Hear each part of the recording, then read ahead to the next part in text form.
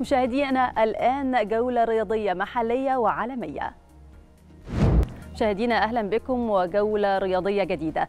الجهاز الفني للفريق الأول لكرة القدم بنادي الزمالك بقياده الكولومبي خوان كارلوس أوسوريو وضع برنامجا خاص لعبد الله جمعة الظهير الأيسر للفريق ويؤدي عبد الله جمعة تدريبات في صالة الجيمنازيوم لتجهيزه بالشكل الأمثل قبل العودة للمشاركة في المباريات خلال الفترة المقبلة.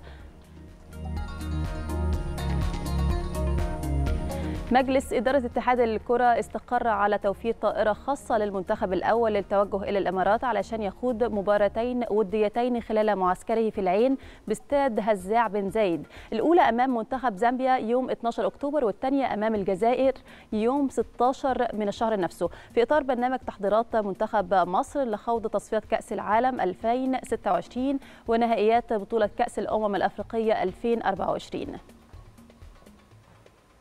السويسري مارسيل كولر المدير الفني للنادي الأهلي عقد جلسة مع اللاعبين طالبهم خلالها بضرورة التركيز الشديد في مباراة سان جورج الإثيوبي المقبلة في افتتاح مشوار الفريق في دوري أبطال أفريقيا لتحقيق الانتصار وتوجيه رسالة قوية للمنافسين أن الأهلي جاهز للحفاظ على لقبه الأفريقي.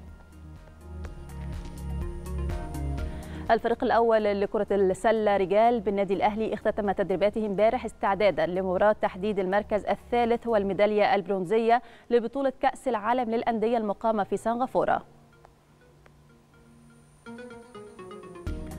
فريق نانت المحترف ضمن صفوف المهاجم المصري مصطفى محمد حقق فوزا كبيرا على ضيف فريق لوريان بنتيجة 5-3 في لقاء اللي جمع الفريقين على ملعب بوجوروا ضمن منافسات الجولة السادسة من مسابقة الدوري الفرنسي.